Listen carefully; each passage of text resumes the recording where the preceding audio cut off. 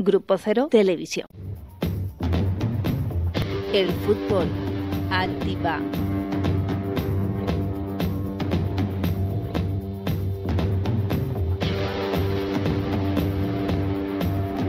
El fútbol al diván, un programa deportivo cultural que se juega en televisión Grupo Cero.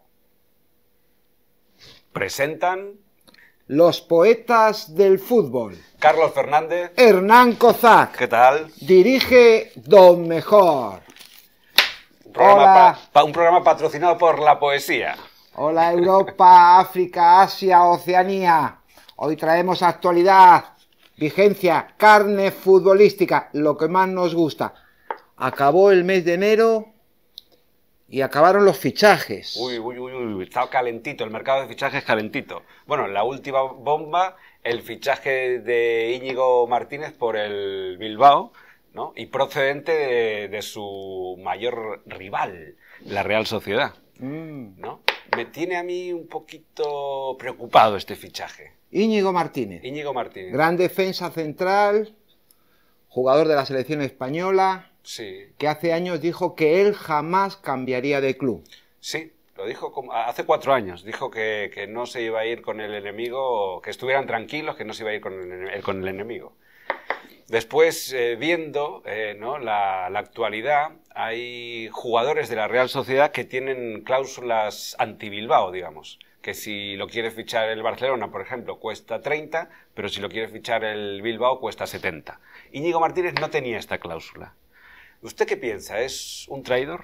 No, No, no es un traidor. No, es un jugador de fútbol, un profesional, que han pagado la- su cláusula de rescisión y que él considera que su futuro deportivo puede ser más halagüeño en el Bilbao que en la Real Sociedad. Son jugadores. Ya no, antes había jugadores de, de equipo que no cambiaban nunca, Sí. ¿no?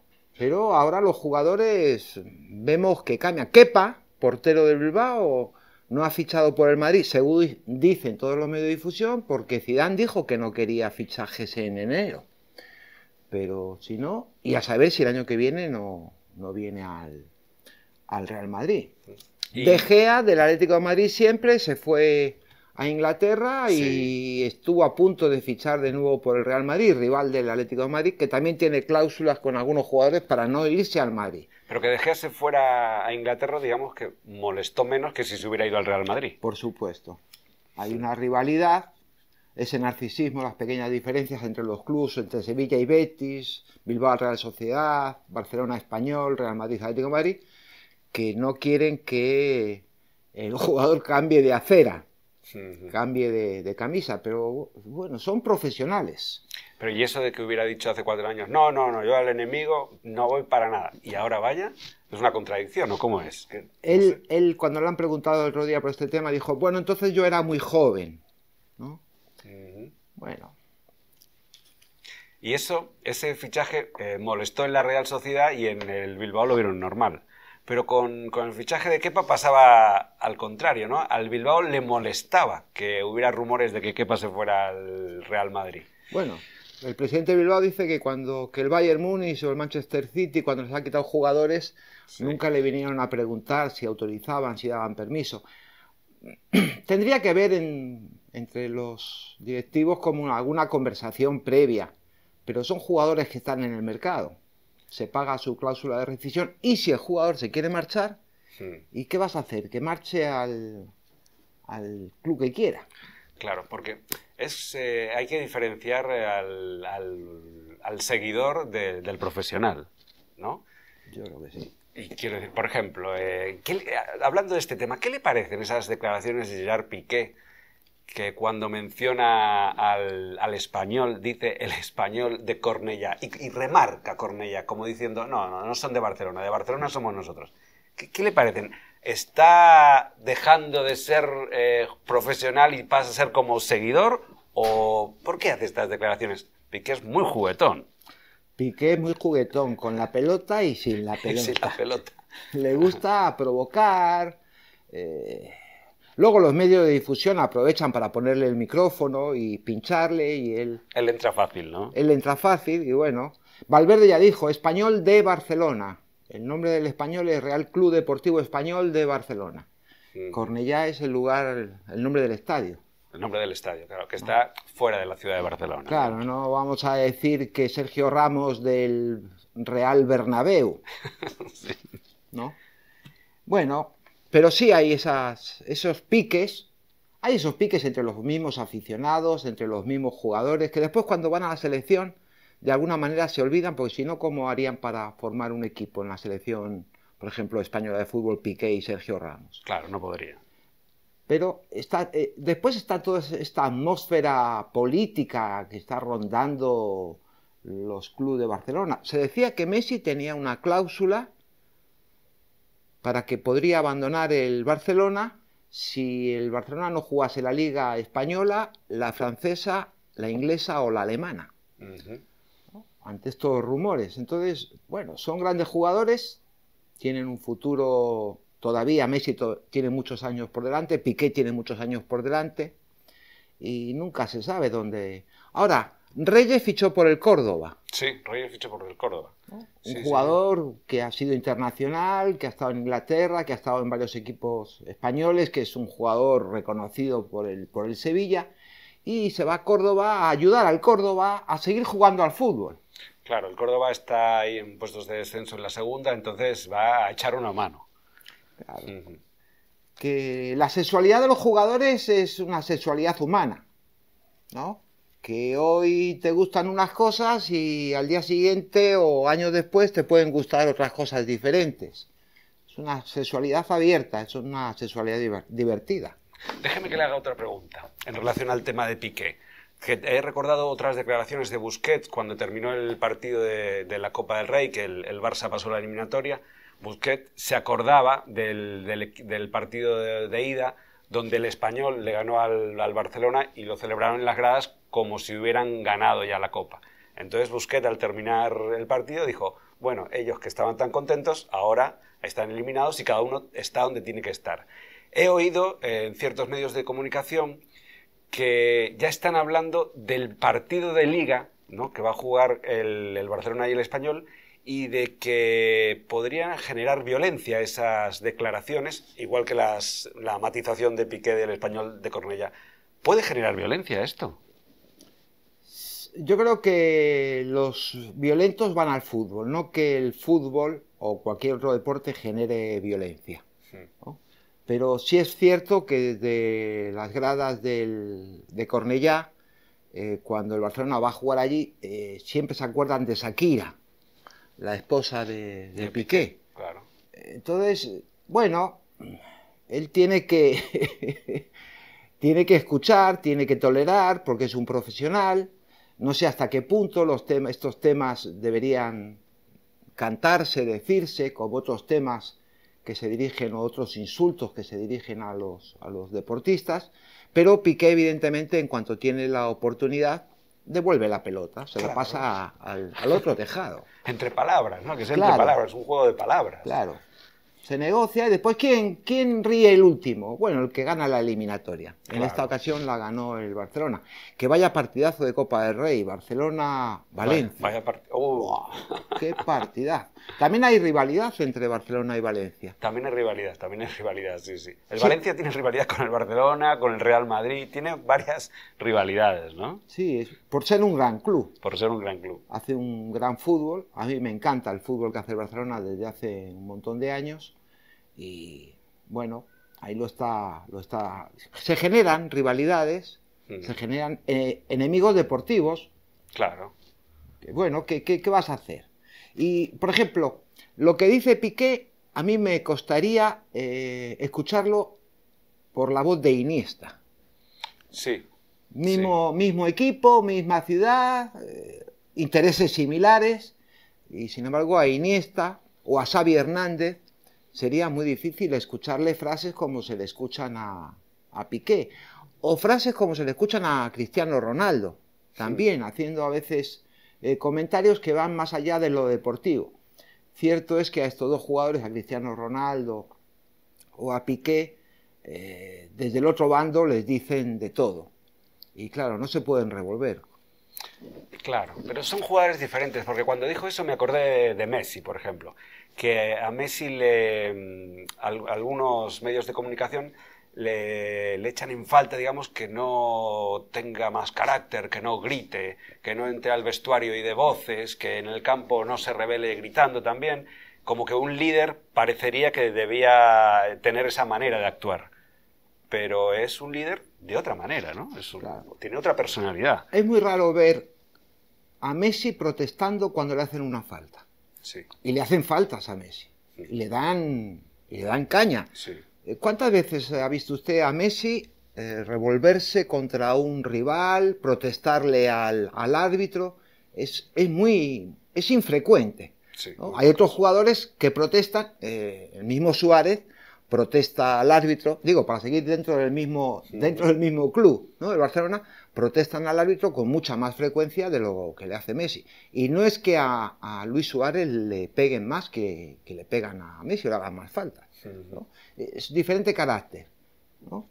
Bueno, es eh, una gran banda musical, cada uno toca un instrumento y la armonía, la conjunción, la articulación de todos ellos eh, desarrolla este fútbol tan, a, mi entender, tan bonito que realiza el Barcelona, porque cuida la pelota, Se ven... el otro día estuve viendo al Atlético de Madrid con, con Las Palmas. Una primera parte aburridísima. Sí, muy aburrida. Aburridísima. Eh, no, no, no, se, no se trenzan jugadas, se perdían el balón cada dos por tres.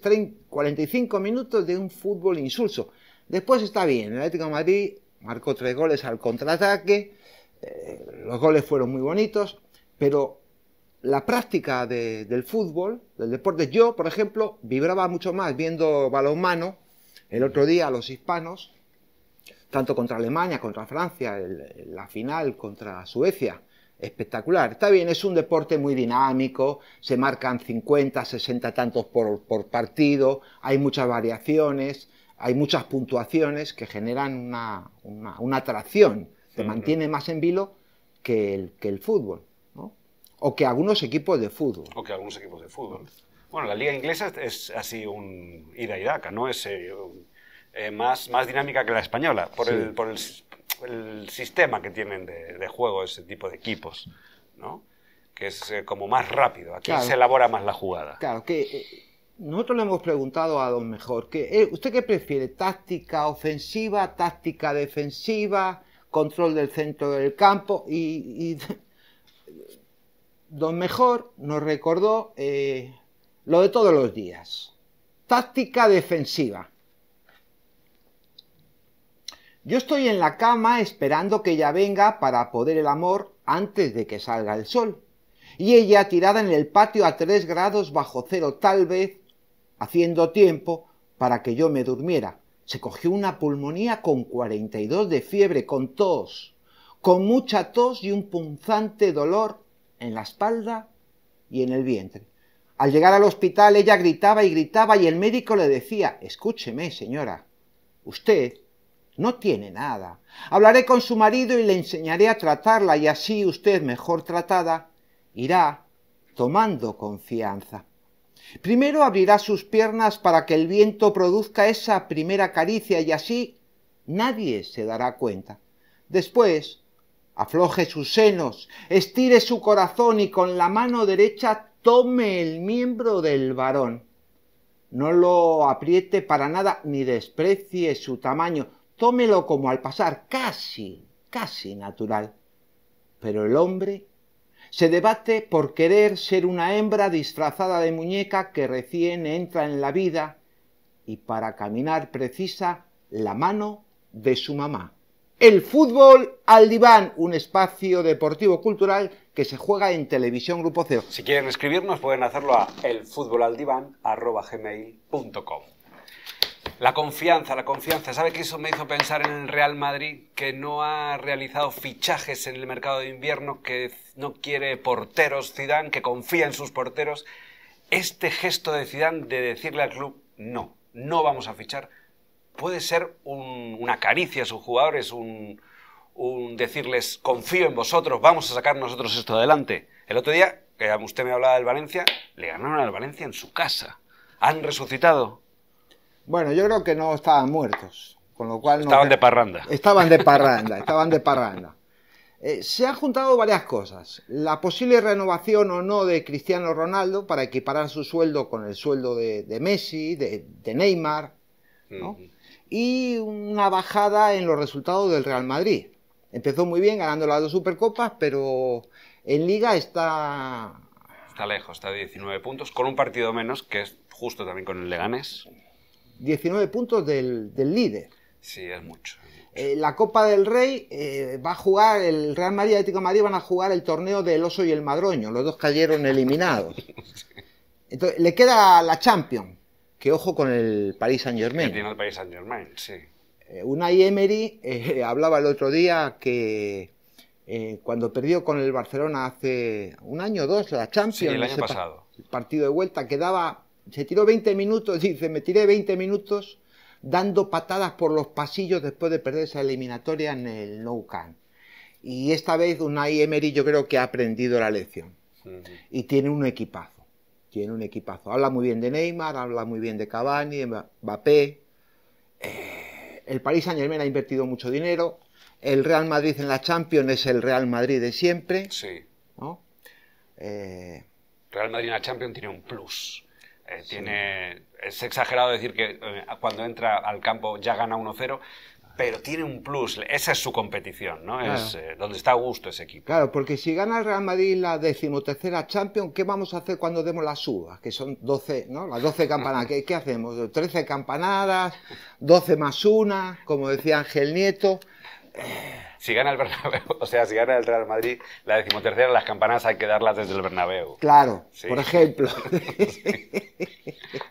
Y oiga, el, el Paris Saint Germain, ¿sabe? Me, me resulta curioso que el año pasado cuando el Barcelona le remontó la eliminatoria, ¿no? que le metió 6-1, me parece o algo así, el equipo, la directiva del Paris Saint Germain siguiera confiando en Unai Emery. Sí. ¿no? Que no, no cambiaran de entrenador, sino que dijeran, apostaran por, por ese proyecto, apostaran por ese entrenador. Me parece muy, muy interesante, porque no es algo habitual en el mundo del fútbol. Cuando se da una crisis de, esa, de ese tamaño, suelen empezar a hacer limpieza. Sí. Aquí lo que hicieron fue fichar jugadores nuevos. Ficharon jugadores nuevos. ¿Y qué jugador? ¿Y qué jugadores? Lo no? mejor que había en el mercado. Bárbaro. Lo- Casi lo mejor, porque estaban Cristiano Ronaldo y Messi que siguen en sus equipos, ¿no? Pero después ellos eran Neymar y Mbappé, eh, presente y futuro, ¿no? Con Cavani en el centro de la delantera es un super equipazo. Sí. Tiene un centro de campo muy ofensivo. eh, es, un, es un gran equipo el Paris Saint Germain. Quiere, quiere relanzar el fútbol francés que hace años que no, no consigue grandes triunfos a nivel, a nivel de, de equipo. Así como la selección francesa parece que está renaciendo con estos Sí. nuevos jugadores, que es una de las candidatas para el Mundial. Es una de las candidatas totalmente. Sí. ¿no? Con Griezmann, con Mbappé, un Titi del Barça, o sea, son jugadores jóvenes con calidad que ya están bregados en las ligas europeas, tienen experiencia. Hablando de un tití, el otro Sí. día en el partido contra el Alavés, esa jugada dentro del área, ¿usted la considera que es penalti o usted considera que no es penalti? Porque yo he escuchado árbitros y unos dicen que es penalti, otros dicen que... Árbitros viendo la jugada ralentizada varias veces. Unos dicen que es penalti, otros dicen que no es penalti. Unos dicen, todos vimos que dio en la mano, Sí. pero que ocupaba espacio, que no ocupaba espacio. Que cortaba jugada, que no cortaba jugada. Que era voluntaria, que no era voluntaria. ¿Usted qué opina? ¿Que era penalti esa jugada? Pues, hombre, si... bueno, dicen que para que se- sea penalti tiene que haber... Tiene que entenderse que hay voluntariedad de- del jugador. Yo creo que fue penalti, ¿eh? Yo, Que creo, fue que, pe- yo, creo, que fue yo creo que penalti. fue penalti. Es que fue tan claro, ¿no? Tan claro. Yo creo que fue penalti. Pero el árbitro no la pitó y entonces, ¿no? A veces se beneficia uno, se perjudica a otro. Yo creo que fue penalti. Y eh, con- por, por jugadas así es por lo que es interesante que la tecnología entre, ¿no? a- al mundo del fútbol, para que se pueda eh, estudiar. Y también, también nos vamos a equivocar, aunque esté la tecnología, pero vamos a ayudar un poco a los árbitros, que la labor del árbitro es muy difícil, muy difícil. Pero yo creo que fue penalti. Y el fuera de juego, ¿no? El, el golazo de falta de Messi está precedido por un fuera de juego de Paco Alcácer. Me parece que el árbitro el otro día ayudó un poquito ¿no? al, al Barcelona. Y de ahí le voy a hacer una pregunta, porque también he escuchado en los medios de comunicación este árbitro, ¿no? Pitó el Valencia-Barcelona de la primera vuelta, donde hubo un gol del Barcelona que entró, ¿no? Hubo un, eh, traspasó la línea de, de la portería, pero no lo pitó. Y entonces hay gente que cree que eso estaba rondando en la cabeza del árbitro y que de alguna manera actuó en, el partido como que le devolvía algo el árbitro del Barcelona. Yo espero, yo espero que esas cosas no influyan en las cabezas de los árbitros cuando van a arbitrar un partido y recuerden que han cometido un fallo eh, jornadas atrás, porque si es así empieza la ley de la compensación. Y, Pero inconscientemente, ¿eh? yo, yo lo digo inconscientemente, no que el árbitro diga, no, a este le ayude aquí ahora, sino que no sé, ¿eh? No sé. Y conscientemente los errores que se han cometido, si no se rectifican, actúan. Eso es, eso es así. Inconscientemente, un error, un lapsus, un acto fallido, el árbitro lo puede cometer. Como lo puede cometer un, un jugador. Cuando Juan Fran falló el penalti de la Champions contra el Real Madrid en la última Champions que perdió en Milán, eh, al día siguiente eh, muchos periodistas recordaban el pasado madridista de Juanfran. Ah. Y que decían algunos que a Juanfran lo que le hubiese gustado es ganar una Champions con el Real Madrid, ya que fue jugador del Real Madrid. Bueno, no la, no la ganó con el Real Madrid, eh, tuvo una precisión de tirar al poste con gran fuerza y salir el balón, porque hay que tener puntería para tirar el balón al poste. Y eh, esas cosas actúan inconscientemente. Puede ser, puede ser. Puede ser. Puede ser. Todos los jugadores, si pudiesen hablar de alguna de sus fantasías eh, deportivas, alguna de sus fantasías sexuales o alguna de sus fantasías ambiciosas, si pudiesen hablar de ello, eh, les haría bien, estoy seguro. Podría potenciar lo, entrenado. ¿Sabe que yo me acordé el otro día en el partido del, del Valencia-Real Madrid? Los dos primeros goles del Real Madrid son de penalti y los, los provoca Montoya, que fue un jugador que estaba en el Barça. Sí. Y yo me quedé con la duda, me quedé pensando, este tipo que estaba en el Barça, que el Barça no lo quiso y ahora hace dos penaltis. No sé si tendrá que ver, no sé si tendrá que ver, pero me, me rondó por, por la mente. ¿Se imagina ahora a Íñigo Martínez haciendo penaltis en un Real Sociedad Bilbao para que su ex equipo pueda marcar goles? Mm, Claro, porque traicionar, traicionar, lo que no tiene es que traicionarse uno a sus propios deseos, son los que, su propio proyecto deportivo es lo que no hay que traicionar. Claro.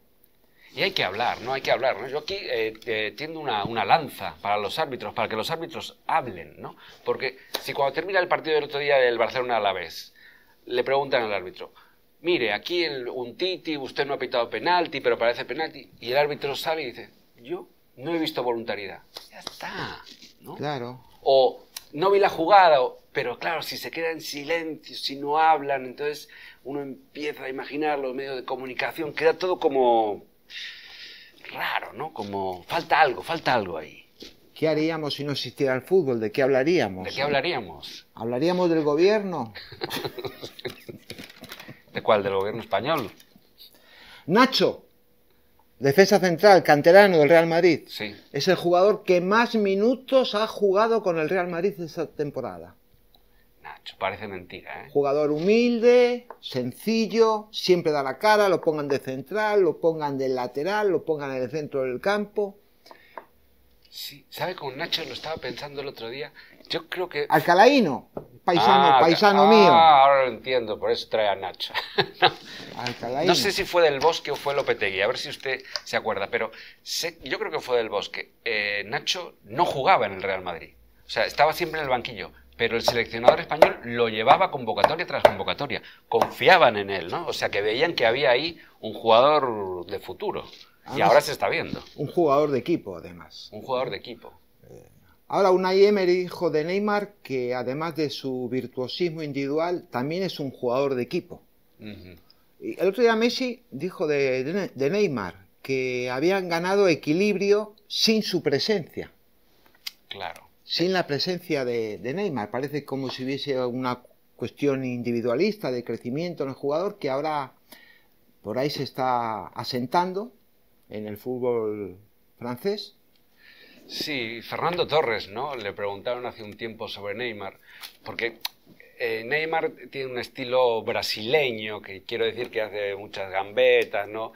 Eh, hace caños que tal vez se puedan considerar innecesarios, ¿no? Y le preguntaban sobre este asunto a Fernando Torres y Fernando Torres hablaba de la juventud de Neymar, ¿no? Decía que cuando éramos jóvenes, bueno, pues cometíamos determinadas cosas que cuando vamos creciendo nos vamos dando cuenta cuándo corresponde y cuándo no.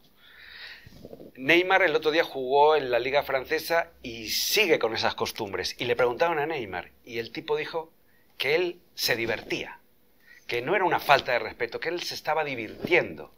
Entonces, es una cuestión de juventud, es una cuestión de, cultural, ¿no? Del jugador. No sé. A mí los jugadores brasileños me encantan. Mm. Recuerdo ahora mismo Ronaldinho. Que se ha retirado hace poco. Un, gran jugador, un virtuoso. Romario. Romario, respetuoso con el rival. ¿no? Que pasa que, claro, eh, los jugadores se juegan mucho en, los partidos. Y no solamente son los puntos o las eliminatorias, es el sueldo de, sus familias. y, a veces desde la grada o se escuchan o desde los mismos banquillos se escuchan eh, mensajes a los defensas para que marquen muy de cerca, de manera férrea. Decía Luis Aragonés, tenemos que ganar por lo civil o por lo criminal el partido por lo civil o por lo criminal. Entonces. Pasa el balón, pasa el jugador. efectivamente. no, los dos no puede ser. los dos imposible. Entonces se ve que hay ciertos jugadores cuya base más, más fuerte en el fútbol es, es la fuerza, no es la habilidad. Y cuando te encuentras enfrente a un jugador tan habilidoso, tan rápido, tan imaginativo, tan fantasioso, tan mágico como Neymar eh, o como Messi, hmm. ¿qué haces? ¿Cómo, ¿Cómo, haces para detener a Messi cuando coge esas diagonales, esa velocidad, ese regate que se mete entre cuatro o cinco jugadores, que parece imposible que pase él y el balón, y sin embargo lo consigue. Bueno, ahí a veces el rival tiene que utilizar la marrullería, la falta, el agarrón, el pisotón. A mí no me gusta, pero cuando lo hacen los defensas de mi equipo, no me disgusta tanto. ¿Y cuando eso lo hacen los delanteros? Le digo, porque últimamente se está hablando mucho de Luis Suárez, ¿no? que el otro día en el partido contra la vez parece que hubo alguna patada extra, digamos. Sí, bueno, Luis Suárez se defiende como puede, ¿no? Pero sí, es un jugador muy... Luis Suárez es un jugador muy... Bueno, tiene una historia. Tiene una historia de patadas, de mordiscos, de escopitajos, de insultos.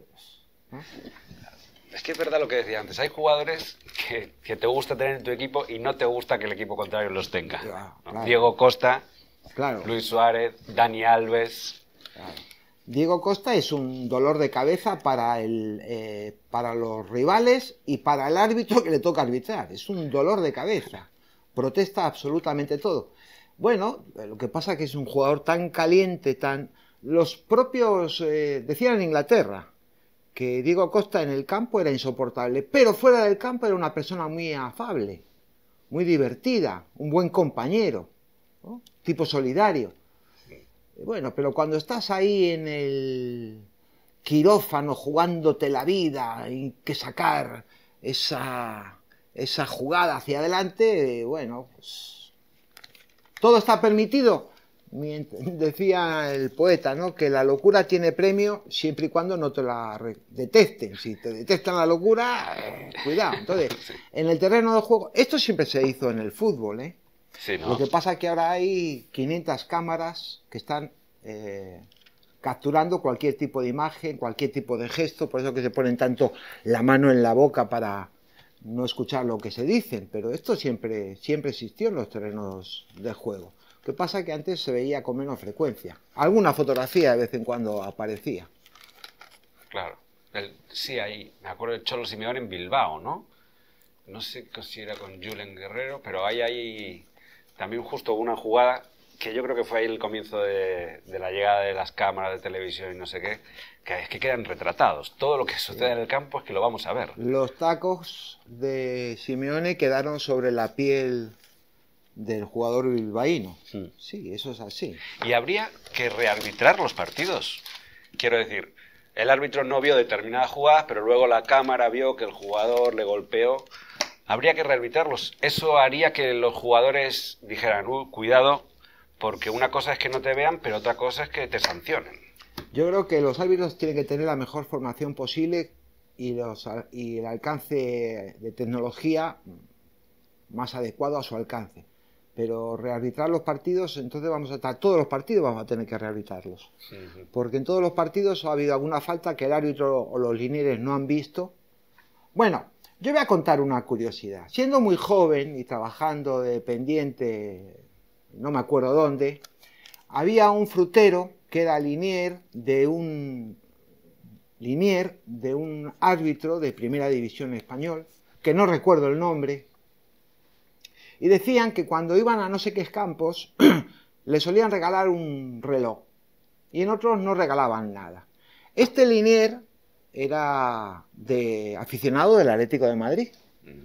El árbitro, eh, que pertenecía también a la Federación Madrileña de, de Fútbol, era seguidor del Real Madrid. Y claro, ni al Madrid ni al Atlético de Madrid los arbitraban, Claro, pero, no pero sí arbitraban aquellos rivales que podían favorecer o al Real Madrid o perjudicar al Real Madrid o al Atlético de Madrid. Y él, él recuerdo haberme dicho que él ha visto jugadas en las que había fuera de juego, pero eh, eh, tardaba en levantar el banderín y ver si el árbitro pitaba o qué pasaba y, a veces pues algún gol se habrá colado. Y, intereses personales, ¿no? Intereses personales que yo me imagino que a lo mejor existen en, en todas las profesiones del mundo, Sí. ¿no? Entonces miro para otro lado, hago que no veo, no me acuerdo, eh, yo qué sé, se me cae el banderín al suelo, miro al césped, que estas cosas ocurren, estas cosas ocurren. Sí, en todas partes cuecen habas. Sí. Ah, pero yo quiero hablar del Leganés, ¿eh? El Leganés. Jo, Qué partidazo el otro día contra el Real Madrid. Bueno, increíble, increíble. Que haya remontado esa eliminatoria es increíble. ¿no? Increíble. O sea, perdió en su campo 0-1 con el Real Madrid, con un golazo de, de Asensio, que Asensio cada vez que mete un gol es para enmarcarlo. Y luego fue capaz de remontar en el, en el Santiago Bernabéu. Bueno, si nos lees un poema y Sí, vamos... Relacionado con, con este tema del Leganés. Ok. Les recordamos que estamos en el Fútbol al Diván, un programa deportivo cultural que se juega en televisión Grupo Cero y que si quieren escribirnos pueden hacerlo al... el fútbol al diván arroba gmail.com. Después nacía la libertad. Después nacía la libertad y me encadenaron. Y así durante cinco siglos me tuvieron vivo y encadenado y me dieron algo de comer, alguna lágrima para llorar por todo lo perdido comí esa nada que me daban y lloré esas lágrimas y me di cuenta que mi libertad medía solo un eslabón. Un ruido me separaba de otro ruido, una cadena me ataba a otra cadena y a hombres como yo. Oí del ruido de las cadenas rotas y nada se escuchaba. Libertad, libertad, libertad. Y nadie se movía. Paz y amor nos dijeron, y estalló la guerra. Esclavos, exiliados, mutilados, muertos, desaparecidos. Así fuimos teniendo los nombres del dolor y de la rabia. Así, por el único camino para sobrevivir, fuimos poetas. Muy bien. Queridos televidentes, nos encontramos la próxima. Muy bien. Chao.